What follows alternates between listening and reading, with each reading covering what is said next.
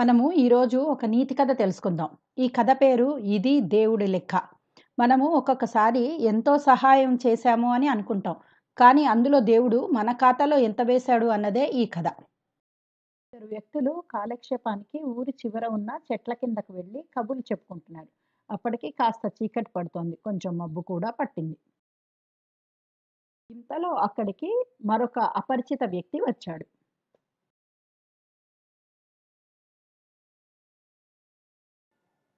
మూడో వ్యక్తి మిగిలిన ఇద్దరితో నేను మీతో ఉండవచ్చా అని అడిగాడు. అందుకు ఆ ఇద్దరు అదేం భాగ్యం! ఈ చోటు మాది కాదు. పైగా మేము కాలక్షేపానికే మాట్లాడుకుంటున్నాం. మీరు పాల్గొనవచ్చు అని అన్నారు. ముగ్గురు కబుర్లలో పడ్డారు. ఇంతలో గాలివాన మొదలైంది. వాళ్ళు ఇక అక్కడి నుండి వెళ్ళలేకపోయారు.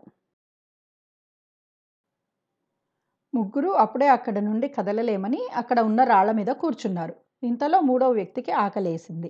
అదే విషయాన్ని మిగిలిన ఇద్దరు వ్యక్తులతో చెప్పాడు.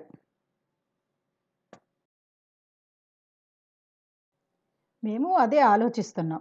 అతడి దగ్గర మూడు నా దగ్గర ఐదు రొట్టెలున్నాయి. ఇవే పంచుకొని తిందాం అని రెండో వ్యక్తి అన్నాడు. కానీ ఎనిమిది రొట్టెలను ముగ్గురం సమానంగా పంచుకోవడం ఎలా అనే ప్రశ్న ఉత్పన్నమైంది. అందుకు మూడో వ్యక్తి ఒక ఉపాయం చెప్పాడు. ప్రతి రొట్టెను మూడు భాగాలు చేస్తే మొత్తం ఇరవై నాలుగు ముక్కలు అవుతాయి అప్పుడు వచ్చిన ఇరవై నాలుగు ముక్కలను ముగ్గురం సమానంగా తిందాం అని అంటాడు. అది అందరికీ సబబుగా తోచి ఎనిమిది రొట్టెలను మూడు మూడు ముక్కలుగా చేసి తలా ఎనిమిది ముక్కలు తిని ఆకలి తీర్చుకుంటారు. చీకటి పడడం వలన ముగ్గురు అక్కడే కొంతసేపు మాట్లాడుకొని ఆ చెట్ల కింద హాయిగా నిద్రపోతారు.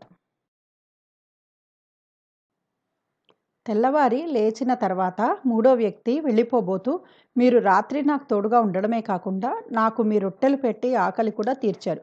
మీకు చాలా కృతజ్ఞతలు అని అంటాడు. అందుకు నా దగ్గర ఉన్న ఎనిమిది బంగారు నాణేలు మీకు ఇస్తాను. మీ ఇద్దరూ తీసుకోండి అని చెప్పి ఎనిమిది బంగారు నాణ్యాలు ఇచ్చి వెళ్ళిపోతాడు.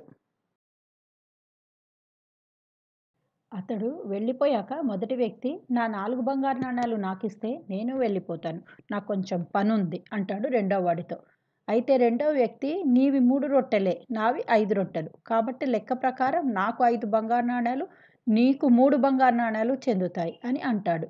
ఇలా వీళ్ళిద్దరి మధ్య వివాదం మొదలవుతుంది.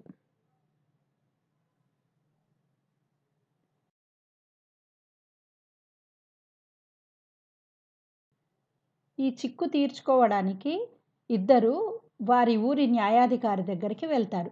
కథ మొత్తం చెబుతారు. కథ విన్న న్యాయాధికారి బంగారు నాణేలు తన దగ్గర పెట్టమని చెప్పి తీర్పు తెల్లవారికి వాయిదా వేస్తాడు.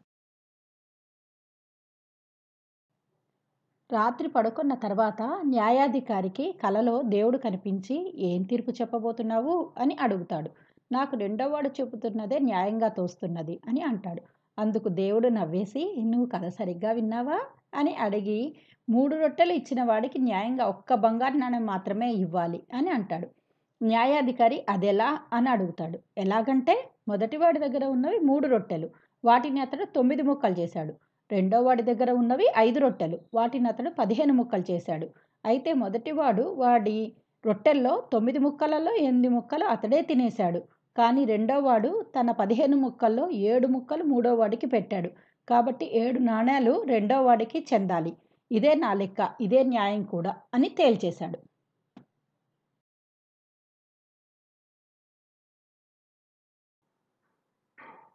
తెల్లవారి న్యాయాధికారి ఇదే తీర్పు చెప్పాడు. అది విని మొదటివాడు ఇతడే నయం మూడు నాణేలు ఇస్తానన్నాడు. మీరు ఒకటే ఇస్తున్నారు అని వాపోయాడు. అది విని న్యాయాధికారి అతడికి ఒకటే ఎలా చెందుతుందో వివరించాడు. దీన్ని బట్టి అర్థమైంది ఏంటంటే మనం వేసుకునే లెక్కలు వేరు. దేవుడి లెక్కలు వేరు. మన దగ్గర ఉన్న దాంట్లో మనం ఎంత ఇతరులతో పంచుకోగలుగుతున్నామన్నదే దేవుడు పరిగణలోకి తీసుకుంటాడు.